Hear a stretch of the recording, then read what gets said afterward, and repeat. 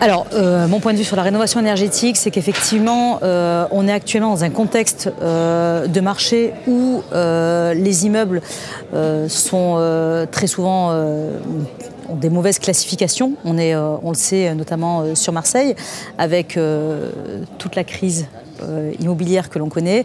Et effectivement, dans ce cadre-là, euh, moi j'accompagne les euh, opérateurs qui travaillent sur l'acquisition en tant qu'urbaniste, qui travaillent sur l'acquisition de biens immobiliers, et je travaille sur la partie programmation et également avec toute, toute la sphère rénovation de ces bâtiments. Comment déjà, ben, ça se traduit sur euh, une programmation qui est adaptée euh, au territoire et aussi dans lesquels on s'implante. Donc ça, c'est quand même euh, hyper important pour les territoires sur lesquels on réalise des opérations, c'est les premiers sujets.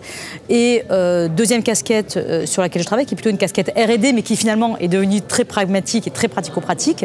on travaille sur le principe des surélévations des espaces commerciaux.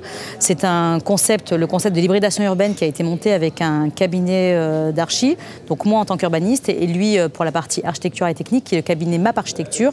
Et euh, on a monté un collectif qui est le CHUT, euh, qui consiste en la surélévation des espaces commerciaux et justement la rénovation de ces sites dont on parle assez peu et qui sont des vrais passoires thermiques.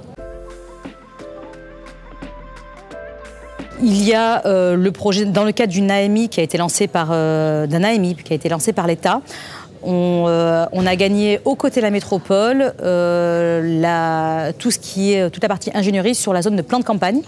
Et euh, on travaille également à leur côté sur des réflexions sur les autres sites qui ont été sélectionnés, en, l'occurrence. en